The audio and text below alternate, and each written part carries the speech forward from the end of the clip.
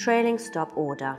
This tutorial will show you how to place a trailing stop order in two case scenarios when you have an open long position and an open short position. A trailing stop order is very effective at managing risk and optimizing profits. The trailing stop is not generally used as an entry order, but rather when you already have an open, favorable position which is accumulating profit. Its main benefit is threefold. First, it allows you to secure profits. Two, while securing profit, it doesn't place a limit on potential profits.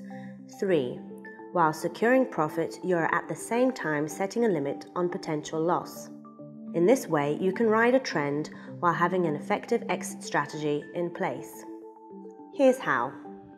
Let's look at the first case scenario when you have an open long position. The trailing stop is set at a predefined distance from the instrument's current market price. In the case of a long position, the stop price is placed at a fixed distance below the market price. Let's say that you have bought stock in company XYZ at $500. The price is currently at $600. You would like to secure this potential profit and keep accumulating more while minimizing your risk.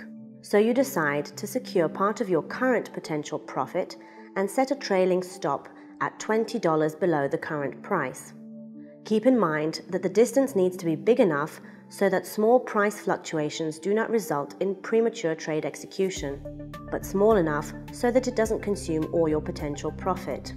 As the price increases, moving in the direction of your order, the trailing stop increases and keeps its distance of $20 below the current price.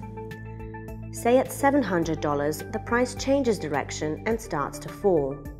If the price falls and reaches the trailing stop limit at $680, a sell order will be executed at this point.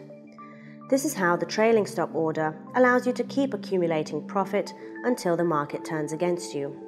Now let's look at the second case scenario, how to set a trailing stop with an open short position. When you have a short position, you set your trailing stop at a fixed amount above the market price.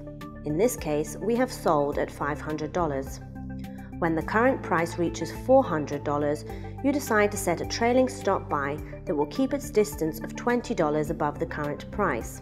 As the price decreases, the trailing stop also decreases, keeping its distance of $20 above the current price. Let's say that at $300, the price changes direction and starts to increase. If the price increases until it reaches the trailing stop at $320, a buy order will be triggered at this point.